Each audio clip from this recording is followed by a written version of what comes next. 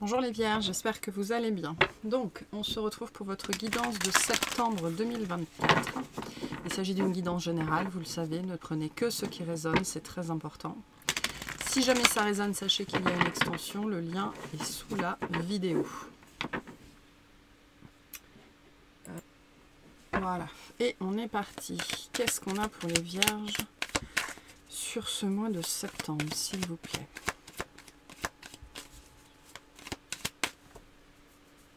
Je sors de baignade, je pense que ça se voit.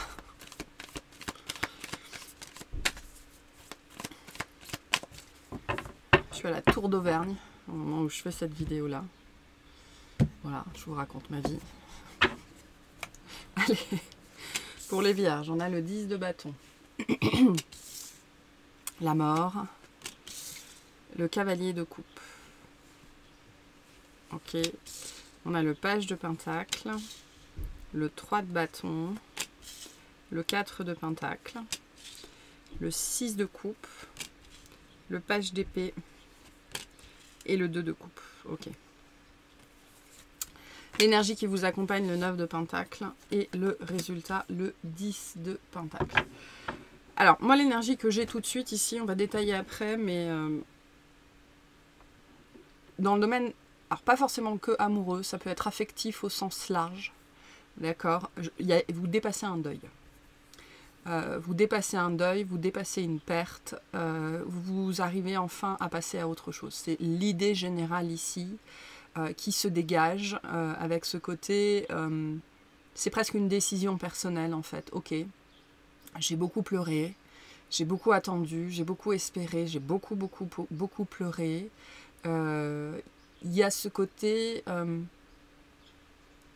j'ai l'impression que vous arrivez enfin à vous raisonner en fait.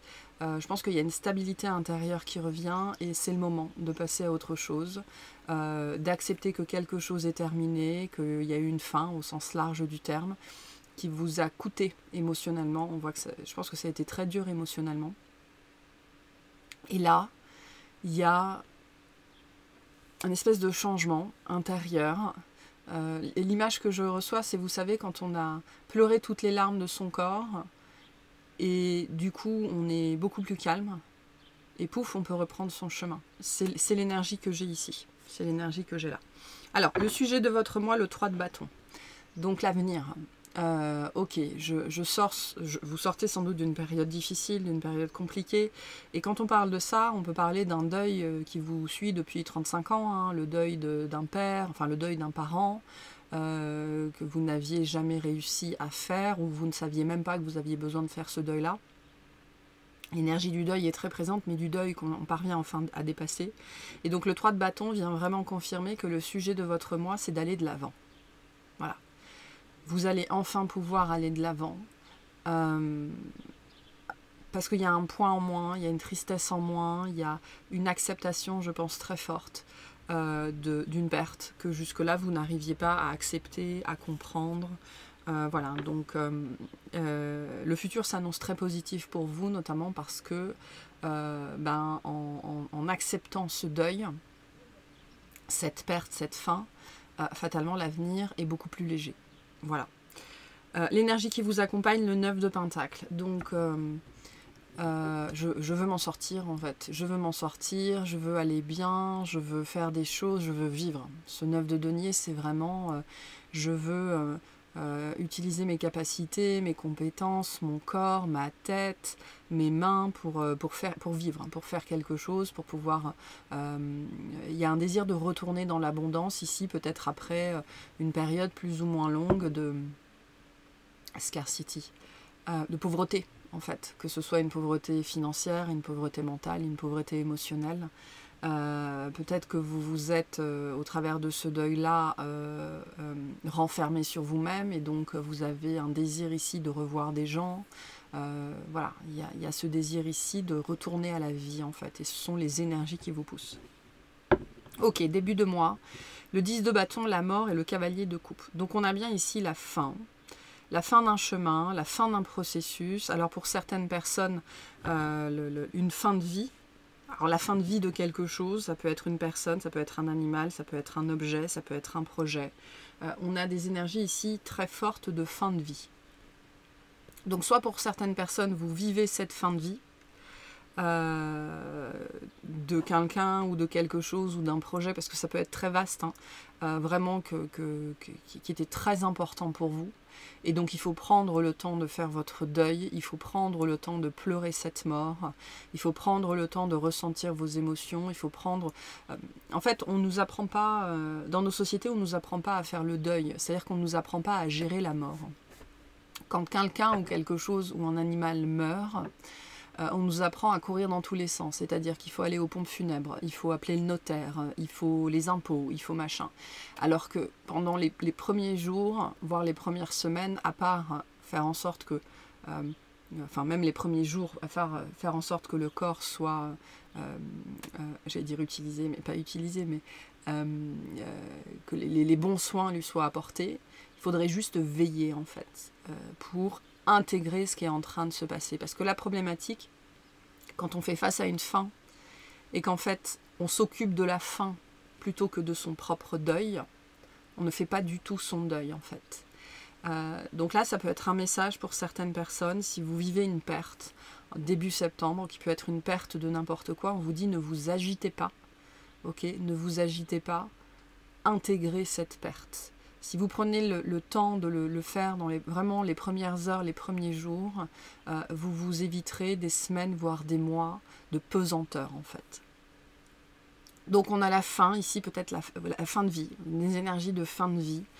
Euh, liées à quelque chose, quelqu'un que vous aimiez profondément dans votre vie, ou alors on va vous annoncer ça, d'accord, et ça va vous affecter. Il y a quelque chose qui vous affecte vraiment euh, lié à la fin de vie de, voilà, de. Euh, et en même temps, avec ce cavalier de coupe, il y a des énergies de soulagement parce que le 10 de bâton nous dit que c'était devenu dur. Hein. Dur à porter, dur à vivre, c'était devenu une charge, c'était compliqué. Euh, voilà, donc attention aux énergies de culpabilité qui vous feraient croire que vous sentir soulagé n'est pas une bonne chose. Vous avez le droit de vous sentir soulagé de la fin de vie d'une énergie en fait. Euh, parce que euh, ce n'est pas parce que vous êtes triste que vous n'avez pas le droit d'être soulagé. Attention à la culpabilité, vous n'avez aucune raison de vous sentir coupable en fait. Ça peut être quelqu'un autour de vous, euh, et c'est peut-être ça qu'il va falloir rappeler à cette personne-là, qu'elle a le droit d'être triste et d'être soulagée en même temps, potentiellement. Voilà. En tout cas, il y, a, une fin qui est là, qui est importante pour vous. et il va falloir prendre soin de votre cœur de votre cœur, de vos émotions, de votre affect. Ça va être très important. Milieu de moi, le page de pentacle, le 3 de bâton, le 4 de, 4 de pentacle. Donc là, il y a un retour à la vie. Il y a un réveil, ok, euh, on a pris le temps, euh, pour ça j'ai des gens euh, qui vont pleurer en fait, qui vont pleurer sur le mois de septembre, et on peut pleurer un décès, on peut pleurer une perte, on peut pleurer la fin d'une relation, on peut pleurer la fin d'une série, on peut pleurer la fin d'un livre, on peut pleurer la fin de plein de choses, mais on parle de quelque chose qui vous a vraiment affecté. Et mi-septembre, c'est le retour à la vie. On voit que vous vous euh, reprojetez vers l'avenir. Euh, alors, c'est pas, euh, on n'est pas dans des énergies de foudre de guerre ici. On voit qu'il y a de la précaution. Ce qu'on voit aussi avec ce page de pentacle, c'est que vous avez une envie, vous avez une idée qui va vous sortir en fait de votre peine, qui va vous reconnecter à la vie. Hein. On parlait de ça de tout à l'heure avec ce 9 de Pentacle, euh, pour que vous recommenciez à faire des plans d'avenir, pour que, si c'est par exemple, mettons que vous, vous deviez euthanasier votre chat, euh, souvent le réflexe des maîtres, c'est de se dire je, je, reprendrai jamais un chat ou alors je vais attendre ou etc. Ce qui pourrait se passer ici, c'est que au bout de 2-3 semaines, soit il y a un chaton qui va venir euh, miauler à votre porte, soit vous êtes là en train de vous dire euh, je vais peut-être pas attendre avant d'en reprendre en fait. Ce sont ce genre d'énergie là. Soit il y a une opportunité qui vient, euh, parce que le, page de Pentacle c'est ça aussi, hein, frapper à votre porte. Euh, soit euh, c'est vous qui allez avoir cette démarche de ok, euh, maintenant on est quand même dans un principe de précaution avec le 4 de Pentacle. On voit que vous voulez pas faire n'importe quoi, n'importe quoi, n'importe comment. donc est-ce que je suis prêt, est-ce que je suis prête, est-ce que j'ai le temps, est-ce que j'ai l'argent, etc., etc. Donc ça, ça, ça va être très très très très présent. Attention à ne pas vous laisser déborder. D'accord euh, Le cadre de denier euh, vous invite ici euh, à vraiment savoir si vous êtes prêt ou si vous êtes prête à de nouveau tenter l'aventure, tenter l'expérience, peu importe, peu importe ce que c'est en fait. Voilà mais euh, c'est le retour de la vie pour vous, milieu de mois.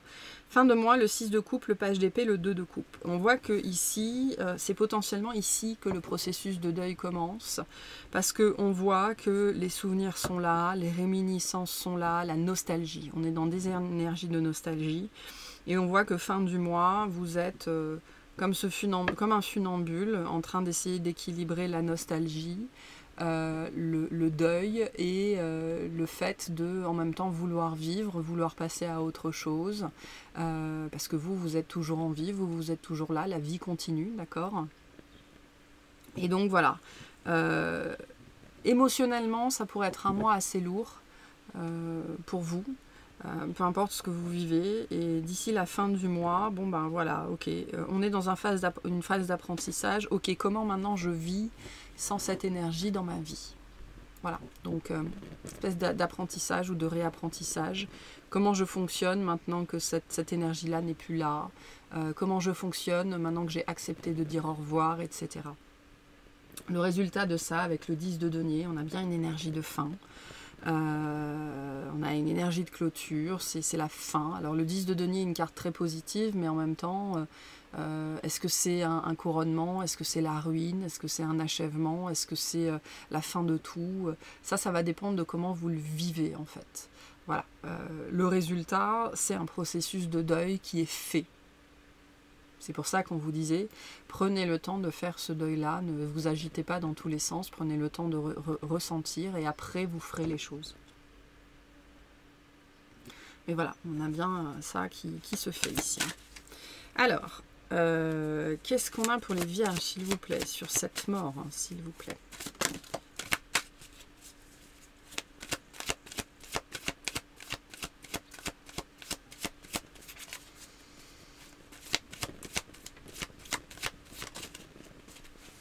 Désolée, je, suis concentrée sur la, flamme de ma bougie. Qui est un petit peu chahutée par le vent. Alors, on a le 7 d'épée. On a le 8 de denier. Et on a le cavalier d'eau qui revient. Donc on a quelque chose qui... C'est pas que ça vous prend par surprise, je pense pas que ça vous prenne par surprise avec le 7 d'épée, ça peut. Ça peut être quelque chose auquel vous ne vous attendez pas, mais moi le 8 de denier me dit que c'est plutôt un processus naturel en fait. Il y a quelque chose qui arrive à son terme assez naturellement. Maintenant le 7 d'épée, on peut malgré tout le vivre difficilement. Hein. En général, si on n'a pas souhaité la fin, c'est difficile d'être d'accord avec la fin. Donc euh, voilà, euh, comme le cavalier d'eau revient, on nous dit bien que euh, on parle de quelque chose qui est vraiment important pour vous. Et là, il va falloir dire au revoir, ou alors ce sont des, réminiscences hein, où vous avez dû dire au revoir à quelque chose, quelqu'un qui vous était cher, mais on parle d'un processus naturel ici. Euh, alors, c'est quelque chose qui peut aller vite. Euh, c'est pas soudain, enfin, c'est pas soudain dans le sens où euh, peut-être que vous l'avez pas vu, mais on parle de quelque chose qui s'est installé ou qui est en train de s'installer doucement avec le temps. Euh, donc attention à la réaction. Je parlais de culpabilité tout à l'heure, donc c'est ça, hein, le 7 d'épée, attention au mental, attention à la réaction, attention à la culpabilisation qui vous ferait croire que vous ne pouvez pas être triste et soulagé ou, n'importe, peu importe ce que vous vivez, il y a une notion de dualité ici. Euh, la dualité est normale, elle fait partie de la vie et vous pouvez ressentir des choses euh, très contraires en même temps, c'est pas un problème. Euh, on vous invite aussi ici à accepter le processus des choses, à accepter le cours naturel de la vie. Voilà. Attention à la blessure d'injustice, attention à la blessure de trahison qui pourrait se réveiller en début de mois face à ce que vous vivez. Euh, qui sera différent pour chacun. Qu'est-ce qu'on a sur ce 3 euh, de bâton, s'il vous plaît? On a le chariot, on a l'as de coupe et on a le 6 de bâton. Donc il y a vraiment quelque chose qui va rentrer dans votre vie avec cet as de coupe. c'est mignon, ça sent bon le sable chaud, c'est tout doux, c'est juste pour vous avec ce page de denier. Euh, soit c'est une idée, soit c'est euh, littéralement, je reprends l'exemple du chaton qui va venir euh, miauler à votre porte ou de votre voisin qui a eu une portée de chien et qui, enfin voilà, ce genre de choses-là. Il y a quelque chose qui vient à vous, en tout cas la vie vous, vous offre une opportunité, vous la prenez, vous la prenez pas. le 4 de denier revient vous dire, on revient insister sur, tu décides si tu es prêt ou si tu es prête. voilà, si t'es pas prête, t'es pas prête, c'est pas un souci mais on va euh, vous offrir euh, euh, une, voilà, une opportunité, une occasion à vous de la saisir ou de ne pas la saisir. voilà, il y a un chapitre se termine et un nouveau se présente quasiment à quelques jours d'intervalle ici. Donc soit vous êtes encore trop fatigué ou trop triste, ou soit vous êtes prêt, prête à vous réembarquer dans une nouvelle aventure en fait. Euh, c'est quelque chose d'extrêmement positif, ce qui vient à vous. Ça va rester plusieurs mois, plusieurs années dans votre vie. Ça va vous amener dans. Ça va vous faire vivre des aventures avec le chariot, peu importe ce que c'est. Donc l'avenir est déjà là. l'avenir se présente en milieu de mois, au travers d'une opportunité, d'une occasion qui pourra prendre n'importe quelle forme. Euh, et qui est aussi, avec ce 6 de bâton, euh, une, récompense, enfin une récompense, je dirais pas une récompense, mais vous savez, comme quand on est triste et que quand on est enfant, on est triste et nos parents nous offrent quelque chose euh, pour tempérer un peu la tristesse ou euh, euh, enfin peu importe, c'est un petit peu cette énergie-là où on vient vous faire un cadeau quand même, j'ai l'impression. Donc voilà. Et avec le chariot, c'est quelque chose qui va vous accompagner, qui va vous faire avancer, qui va vous obliger à vous lever le matin, qui va vous réveiller, qui va vous sortir de vos habitudes, qui va vous... Oui, qui va vous, vous obliger à bouger en fait, mais pas, euh, pas contraint et forcé, hein, c'est pas ça non plus, mais euh, ça va vous obliger à remettre de la vie là où il n'y en avait plus. Et qu'est-ce qu'on a sur ce page de bâton S'il vous plaît, pour les vierges? Donc il y a un beau cadeau, hein. il y a quand même un beau cadeau et ça, ça va dépendre de comment vous le vivez, ça, ça dépendra de vous. Hein. On a la reine de bâton, la reine de bâton, l'impératrice et le 10 de denier qui revient.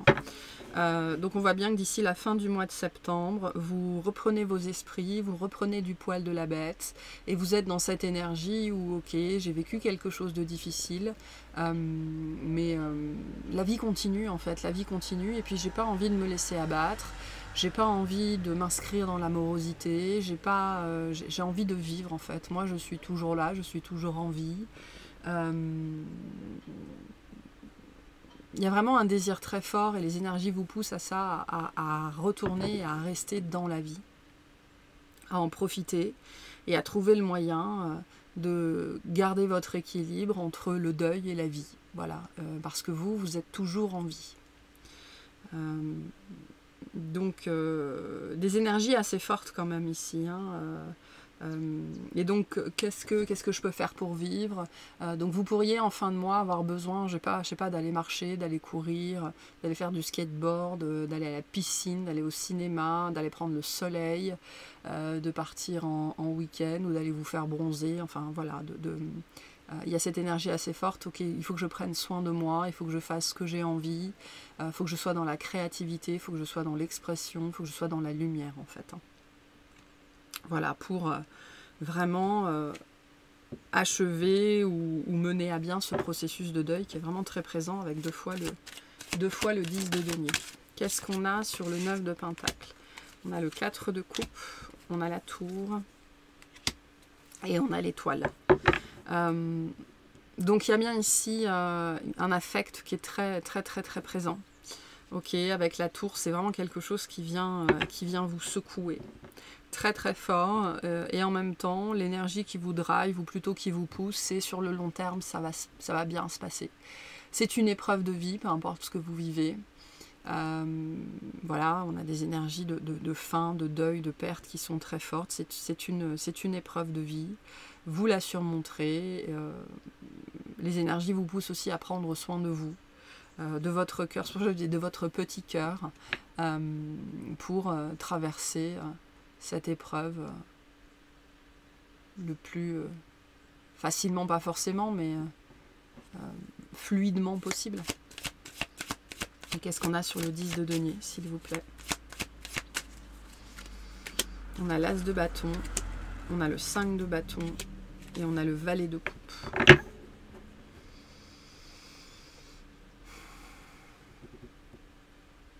J'ai l'impression qu'il y aura des gens pour vous soutenir aussi. On vous dit que vous n'êtes pas obligé de, rester tout seul, de rester toute seule. Euh, la vie continue, hein, c'est ce que j'ai ici. La vie continue. Euh, euh, il peut y avoir de la culpabilité par rapport à ça, en fait. Moi je, moi, je, moi, je continue à vivre. Moi, je suis toujours là. Et, et il peut y avoir de l'incompréhension face aux choses qui ne se passent pas comme on aimerait qu'elles se passent. donc ça, ça pourrait être un petit peu compliqué. Je parlais d'injustice, je parlais de trahison, culpabilité. Euh, il pourrait y avoir des choses comme ça. Donc soyez simplement euh, dans l'accueil et l'acceptation de ce qui se présente à vous. Ok? Euh, N'essayez pas de fuir vos émotions. et faites les choses à votre manière. C'est ce qu'on vous dit ici avec ce 5 de bâton. Faites les choses à votre manière, ne vous laissez pas parasiter par les avis des autres, mais soyez également dans l'accueil euh, de l'aide, parce que pour moi, il pourrait y avoir de l'aide dans votre vie. Donc n'hésitez pas aussi à demander de l'aide si vous en avez besoin. Donc voilà pour ce tirage. Allez, un message pour vous, puis on ira clarifier tout ça dans l'extension.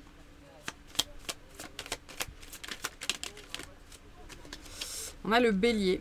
C'est le moment d'écouter ton intuition et tes aspirations pour te réaliser. N'aie plus peur d'assumer tes envies face aux autres, car chacun de tes rêves est légitime. Donc il y avait cette idée ici, faites les choses à votre façon. Ok, euh, voilà, il y a, euh, je pense que ce que vous voulez vivre dans votre vie, euh, ou la façon dont vous voulez gérer cette question-là, peu importe ce qui vous arrive, des gens qui pourraient ne pas être d'accord, ou vous dire tu devrais pas faire comme ça, ou etc., etc., tu devrais pas reprendre un chat, un chien tout de suite, tu, de, tu, voilà, ce genre de choses. Faites les choses à votre façon.